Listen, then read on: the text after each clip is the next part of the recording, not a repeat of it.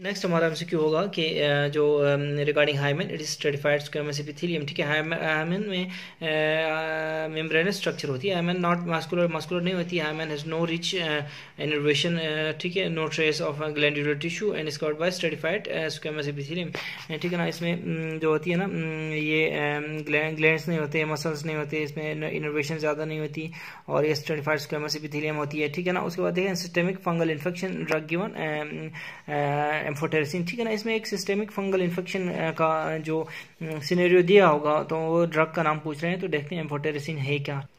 यहाँ पे देखें कि ये हमारा एम्फोटेरसिन एम बी है, ठीक है? एम्फोटेरसिन बी बी ई लिखते हैं ना इसको बी ई ठीक है ना? तो ये क्या करता है? बाइंड्स इर्गोस्टिरोल ठीक है? यूनिक टू इर्गोस्टिरोल एक ऐसा कंपाउंड है जो यूनिक टू फंगाई होता है ना? ठीक है? इन्फॉर्म्स मेम्ब्रेन पोर्स फिर क्या करता है? एनोलोस लीकेज ये उससे उससे बाइंड कर जाता है। बाइंड करने के बाद एम्फोटेरसिन एम्फोटेरसिन ये देखें एम्फोटेरसिन बाइंड कर जाता है, उसके बाद होल्स करता है मेम्ब्रेन में। उसके बाद इलेक्ट्रोलाइट्स लीक कर जाते हैं और जो है ना वो फंगस मर जाता है, ठीक है?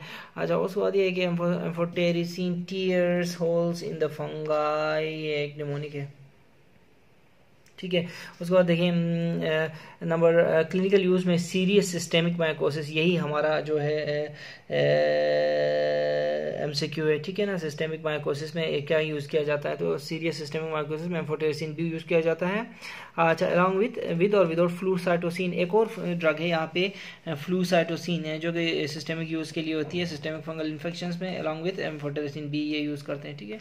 तो ये फ्लूसाइटोसिन भी हम एज ए उसके जो है ना के साथ यूज़ कर सकते हैं। ठीक है एम्फोटेरसिन से रिलेटेड देखें एम्फोटेरसिन कहाँ कहाँ दी जाती है? क्रिप्टोकोकोसिस जो कि कबूतर से जो फैलती है क्रिप्टोकोकोसिस ठीक है क्रिप्टोकोकोसिस ये वही फंगस है, जो ये देखें मैं आपको दिखाता हूँ, ये अगर इसको आप देखें ना हाईलाइटेड इंडियन इंक में देखें तो क्लियर हेलो ये नज़र आता है इसका, ठीक है, ये कबूतर से फैलती है पिजन ड्रॉपिंग से, और हेविली इनकेप्सुलेटेड यीस्ट होती है ये, ठीक है और उसके अलावा इसमें क्या है, इसके अलावा लेटेक्स एग्लूटिनेशन में देखें तो इसका capsule antigen polysaccharide capsule antigen detect किया जा सकता है। ठीक है, उसके बाद उसके बाद ये देखें इम्यूनो कम्प्रोमाइज में ये ज़्यादा लगती है क्रिप्टोकोकोसिस और सोप बबल लेयंस नज़र आते हैं। ठीक है, ये मैनजाइटिस भी करती है और इंसेफेलाइटिस भी करती है। ठीक है जब इंसेफ्लाइटिस होता है ना तो इसमें सोप बबल लेयंस नज़र आते हैं ब्रेन में।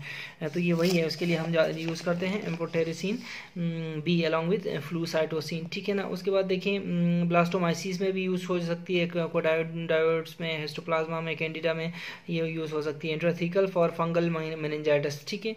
अच्छा सप्लीमेंट में क्या इसके साथ देंगे पोटेशियम देंगे मैग्नीशियम देंगे, क्योंकि ये रेनल ट्यूबुलर परमिबिलिटी को चेंज करती है ये ड्रग ठीक है? अच्छा उसके बाद आ जाए Um, इसके साइड इफ़ेक्ट्स में साइड इफ़ेक्ट्स में हमारे, ये बात आपने याद रखनी है सप्लीमेंटेशन में पोटेशियम मैग्नीशियम देंगे क्योंकि ये जो है ना रीनल ट्यूबुलर परमेबिलिटी को चेंज करती है एम्फोटेरिसिन ठीक है?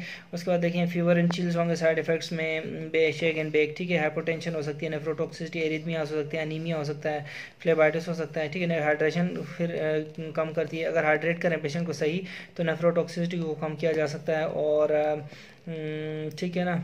बस यही है। अच्छा उसके बाद देखें ये अब एक और बात चीज़ जो नाइस्टेटिन है ना नेवर यूज़ सिस्टमिकली ठीक है? Too toxic for systemic use ना ना ना ना ना नाइस्टेटिन नाइस्टेटिन ना ना ना नाइस्टेटिन ठीक है?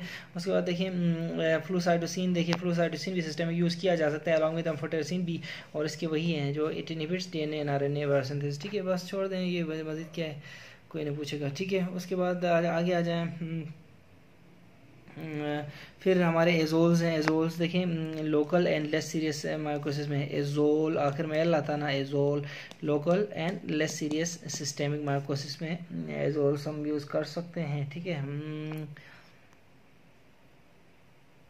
अच्छा उसके बाद एजोल्स गायनिकोमास्टिया करते हैं, याद रखें फ्लूकोनाजोल कीटोकोनाजोल ठीक है ना? इनकी भी जो है ना, वही है सारी। है देखें ब्लास्टो कोकाइडो हिस्टोप्लाज्मोसिस अच्छा शंकी एस्परजिल एस्पेकर इन्फेक्शन ठीक है?